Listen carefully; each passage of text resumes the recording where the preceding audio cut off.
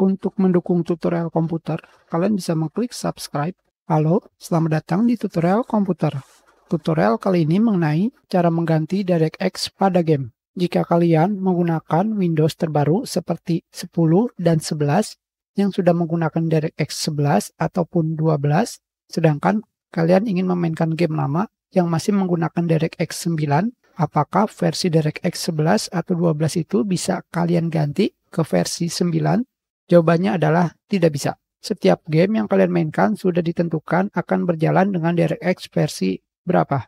Jika game yang kalian mainkan versi lama dengan menggunakan DirectX 9, maka ketika kalian memainkan game tersebut akan menggunakan DirectX 9.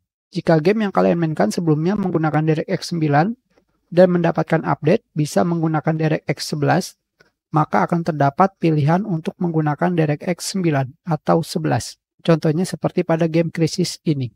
Pada game krisis 2, di sini kita sudah menggunakan DirectX 11. Jika kalian pergi ke option, grafik, di sini kalian bisa mengganti grafik DirectX 11 dari enable, yaitu menggunakan DirectX 11, menjadi disable, yaitu menggunakan DirectX 9. Kita klik apply, dan harus merestartnya.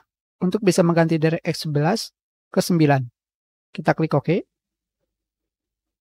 Kita restart. Dan sekarang kita sudah mengganti dari DirectX 11 ke 9. Kalian bisa melihat di sini. Kita keluar. Sekarang, bagaimana jika kalian ingin mengganti DirectX 11 ke 12 pada game? Sama seperti sebelumnya, jika game yang kalian mainkan sudah mensupport DirectX 11 dan 12, kalian bisa menggantinya. Seperti contoh pada game Resident Evil 2 Remake ini.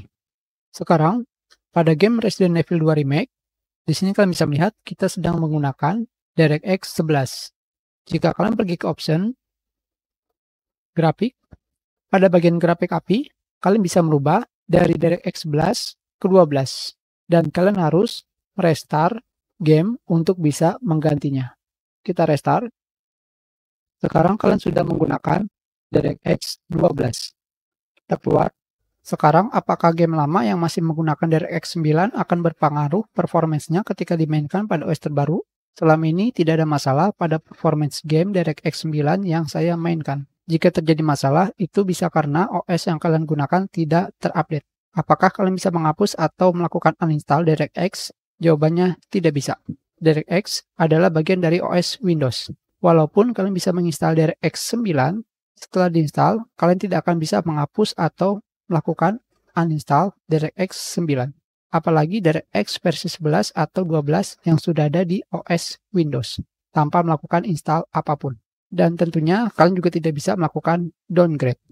Tentu saja, selain DirectX digunakan pada video game, DirectX juga digunakan pada media player atau aplikasi untuk menonton video.